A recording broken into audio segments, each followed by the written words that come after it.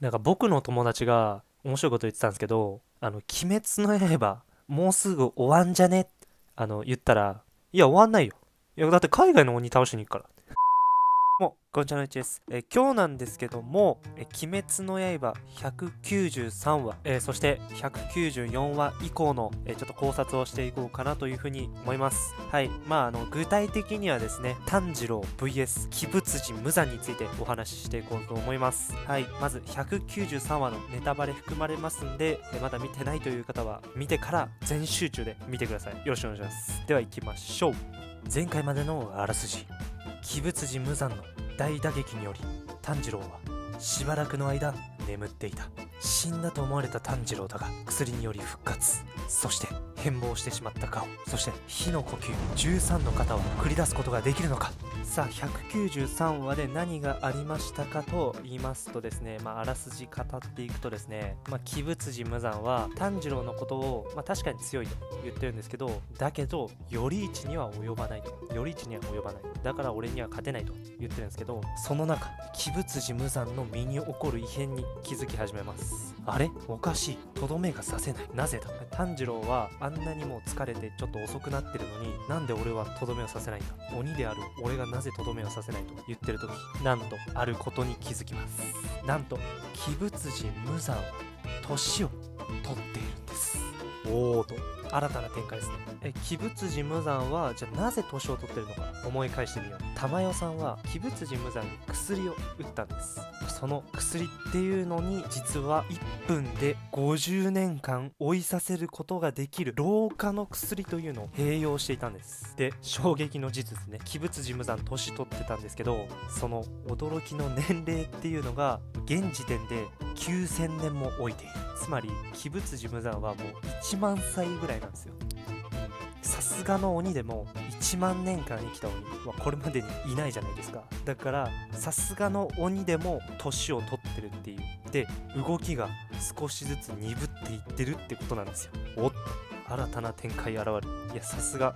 玉代さんはあのように言ってまでもやはり強いと。末玉代。え玉代さんの力が出てきましたということで玉代さんさすがさすがっす。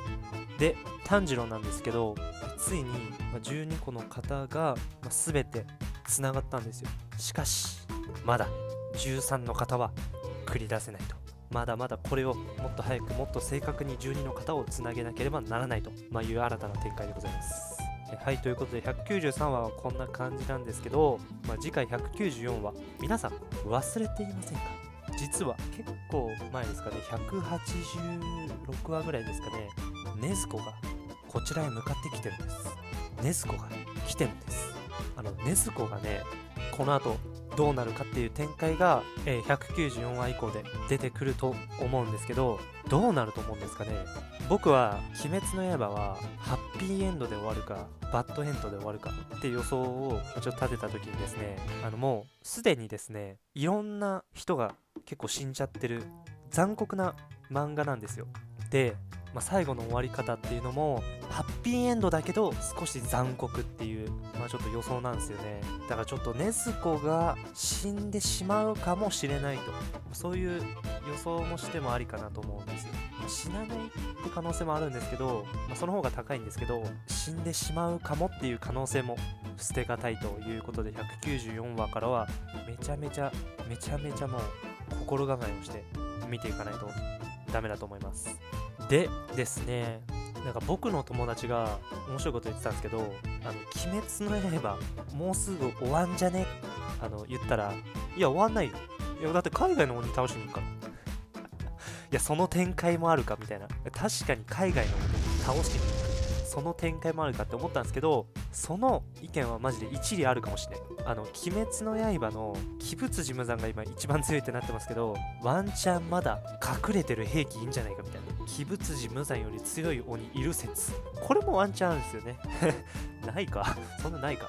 それとですね僕が予想できるのはあの世代がまた継がれていく。このまま夜明けまでに鬼仏寺無惨に逃げられるんですよ。また。そして今度炭治郎たちの子供が撃つと。ここで終わってほしくないっていうのもあるんですけどあの僕の勝手なあれなんですよ。鬼滅の刃ここで終わってほしくないでワンチャンそれもあるんですよ。本当に。頼一さんですら鬼物事務山を逃がしてしまった。炭治郎たちも逃がしてしまう可能性はあるんですよ。だから逃げられてしまって炭治郎たちのこの子供があの世代として倒すみたいなのもワンチャンあると思うんですよ。炭治郎が柱になってねみたいな。炭治郎とか全員とか柱になるそういうのもあると思うんですよ、まあ、あとあると思ったのはまあ多分これが多分一番可能性あるんじゃないかなみたいな感じなんですけどあの炭治郎の、まあ、13の方が決まるんですよ。で13の方ってまだ公表になってないじゃないですか。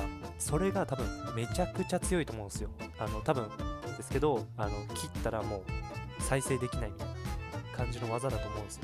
それとえ今の老朽化がこう進んでってちょうどいい具合にもう鬼物児が逃げられなくなると。そこで首を切ってで太陽に当てて死ぬみたいな。ででも禰豆子がねそうどうなるかなんだよね。禰豆子が。それかやっぱ禰豆子が吸収されちゃって人間になる。であ新たな展開思いついた。新たな展開思いついたぞ。あ禰豆子が鬼物寺無惨に吸収されるんですよ。